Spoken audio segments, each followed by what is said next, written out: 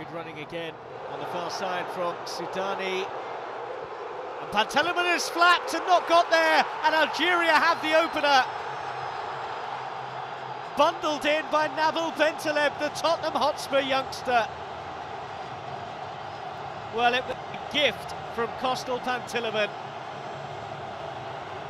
And the fellow Premier League player was on hand to gobble it up.